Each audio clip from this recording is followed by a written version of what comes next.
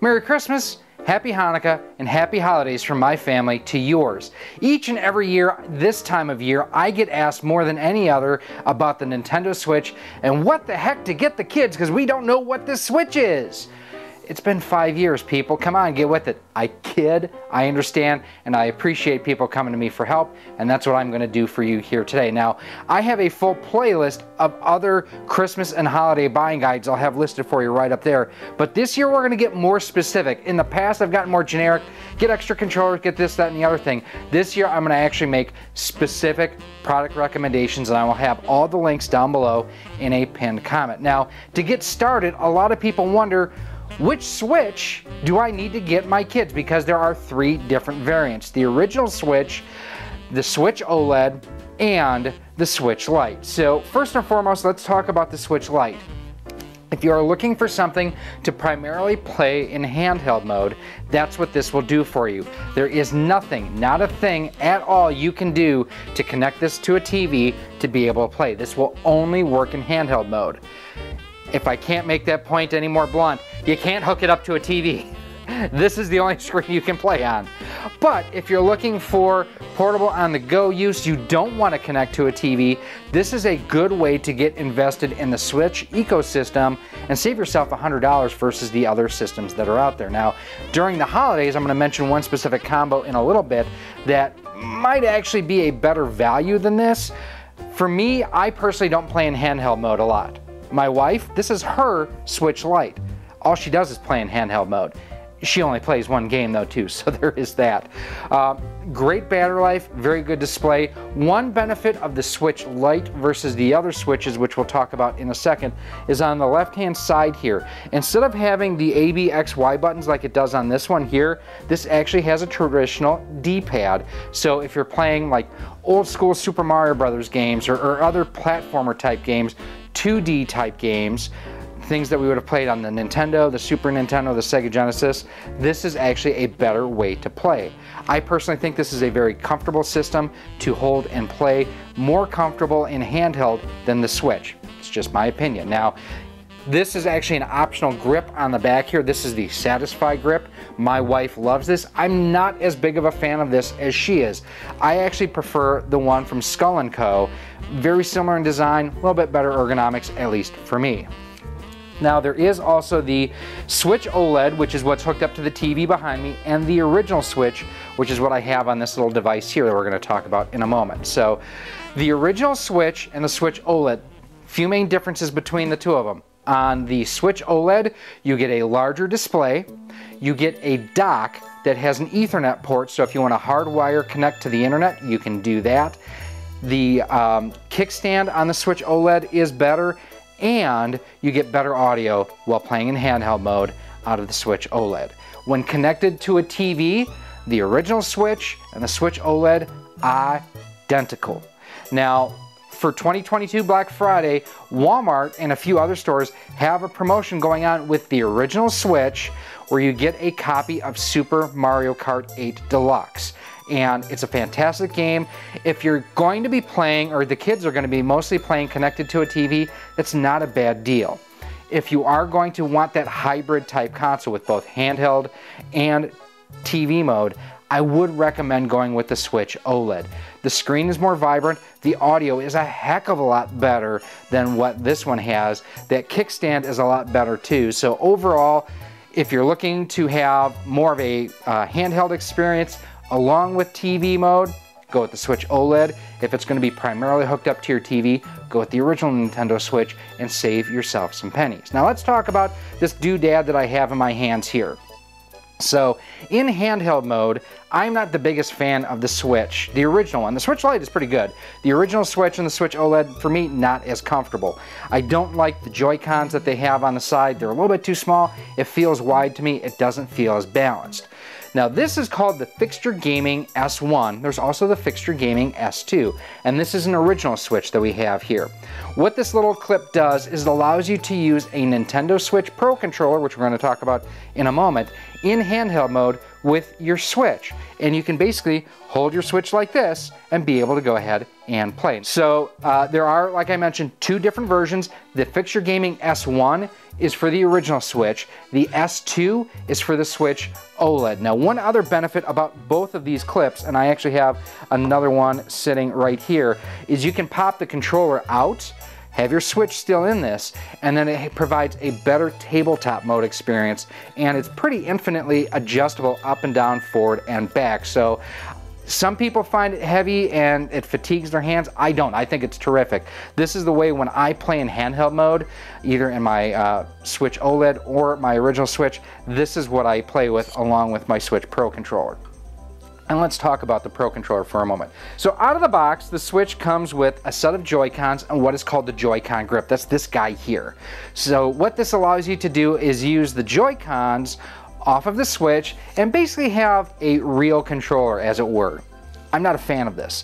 I think the grips are too small. I think the buttons are too small. It doesn't address the lack of a D-pad here for those platforms like we talked about. Overall, not the way I like to play. So the Nintendo Pro Controller is my controller of choice for playing either my original Switch or my Switch OLED. Let's pop this guy out here.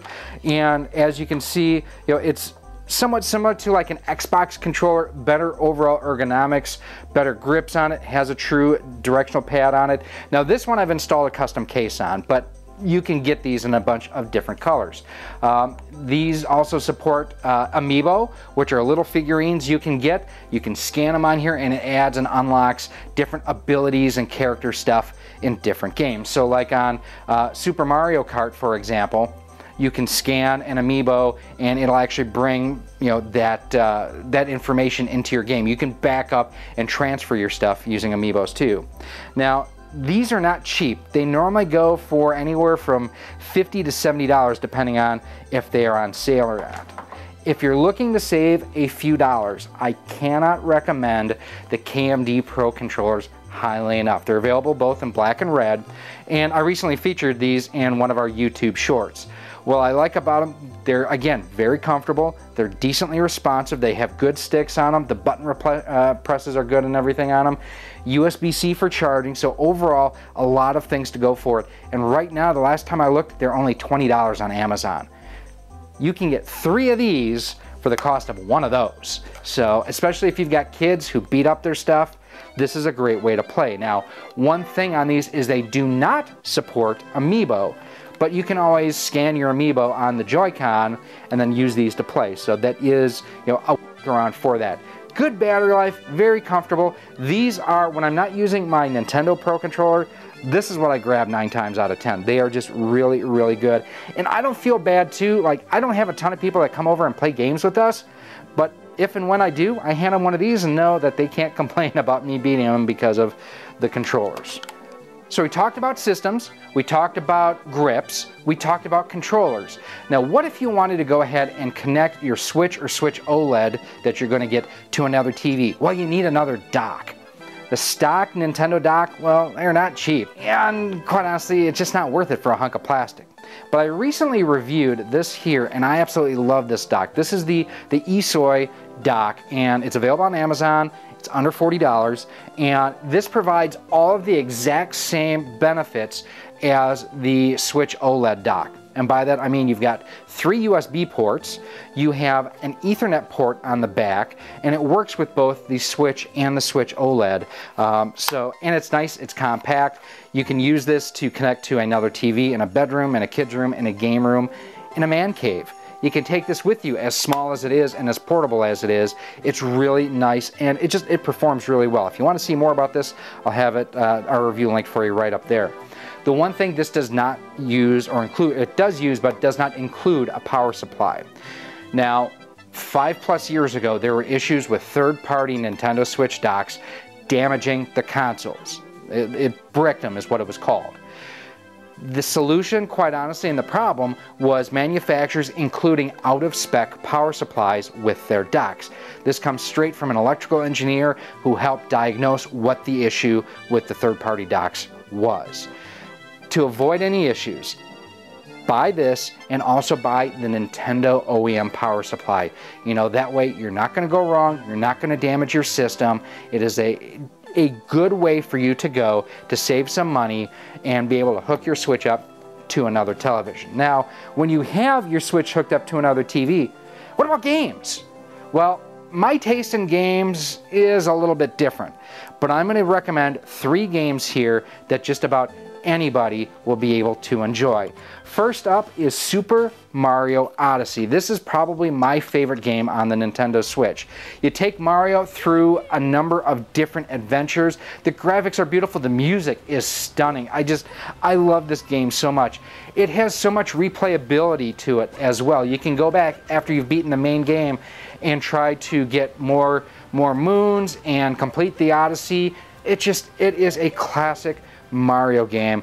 So many people talk about a spiritual successor to Mario 64 because that was such a classic. This is not only a successor, it's an improvement in every way on Super Mario 64. This is probably the best Super Mario game I have played since Super Mario World. It's been a long time. This is absolutely brilliant. Next up, we all remember the Nintendo Wii, right? People breaking their TVs, grandma and grandpa buying one just so that they could play bowling.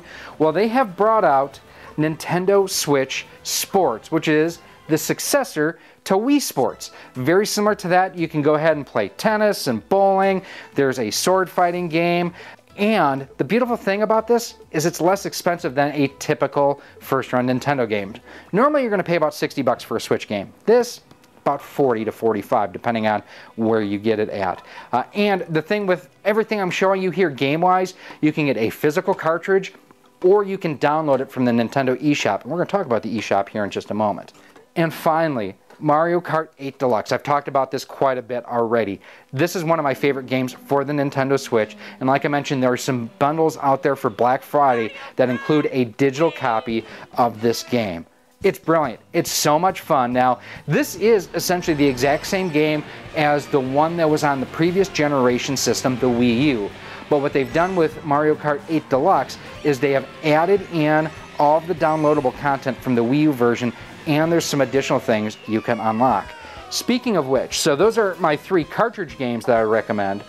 We need to talk about the Nintendo Switch Online service, which is there's a couple different tiers and it can get confusing real quick. I'm going to try to explain all to you. So you don't need to be online with the Nintendo Switch. I will tell you that right now.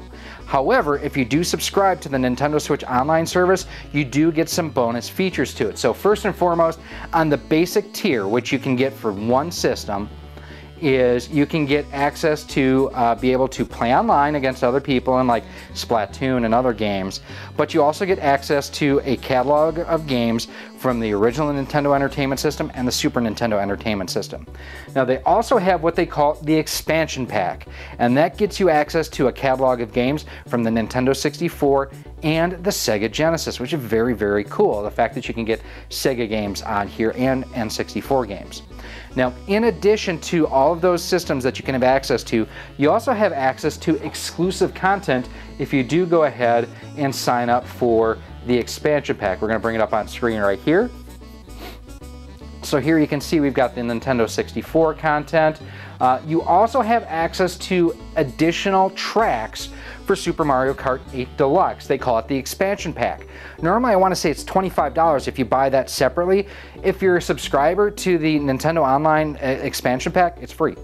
Um, now the expansion pack is more expensive. I think for an individual it's $50.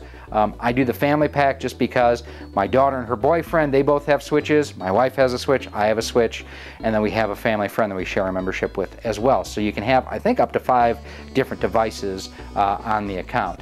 You also get access to um, the Animal Crossing Happy Home Paradise, the Octo expansion pack for Splatoon 2, and like I mentioned, the Sega Genesis games. And this is all through the Nintendo Online uh, expansion pack. Now, one other thing I want to show you too is you can actually download games through the Nintendo Switch eShop.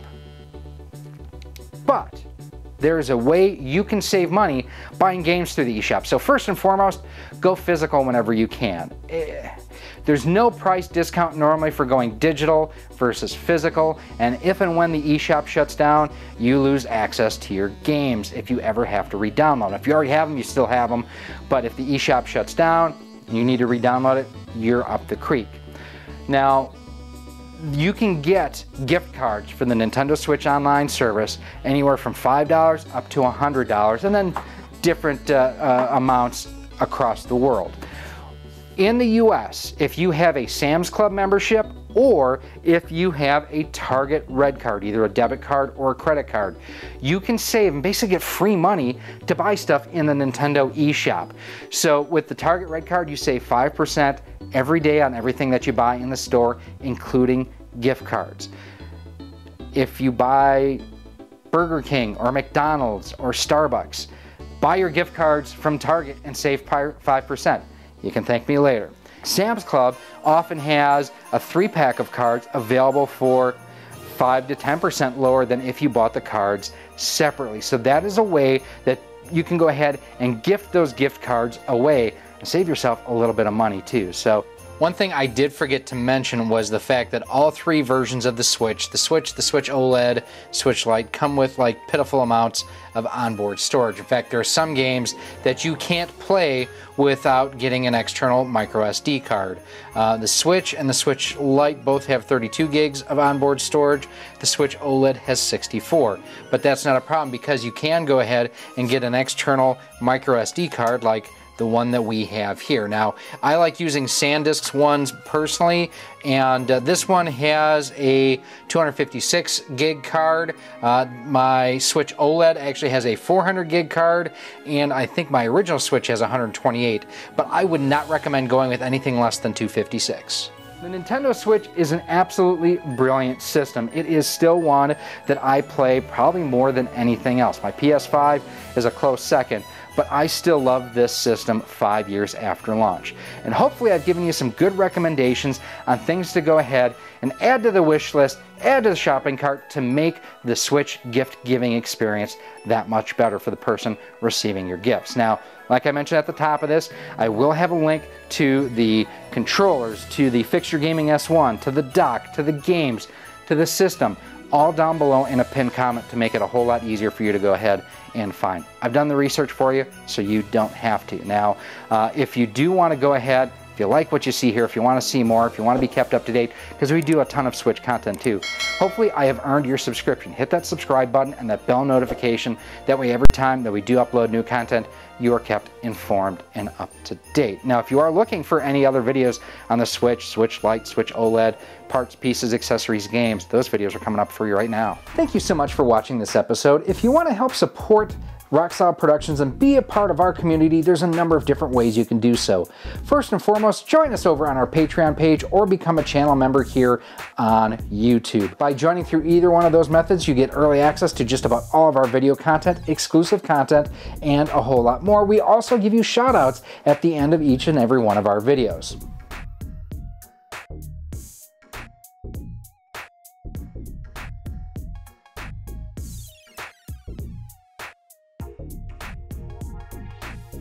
You can also pick up some awesome RoXolid Productions swag. We've got t-shirts, sweatshirts, hoodies, and more available through our Teespring store on screen right now too. You can also pick up some of our awesome 3D printed cartridge stands, amiibo holders, Nintendo DS holders, and more by visiting our 3D printer store on screen right now as well. Links for everything will be down below in a pinned comment. If you want to stay up to date with everything we have going on here at RoXolid Productions, make sure that you're following us on the different social media networks.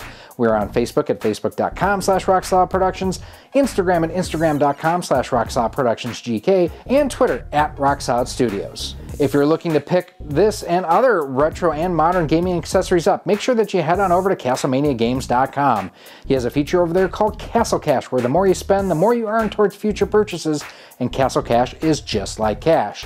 He also offers convenient payment plans for more expensive items over $50. Finally, make sure that you use promo code ROCKSOLID10 when you're shopping at CastlemaniaGames.com as it can save you up to 10% on most items on the website. Again, thank you for watching this episode and I cannot wait to see you again soon.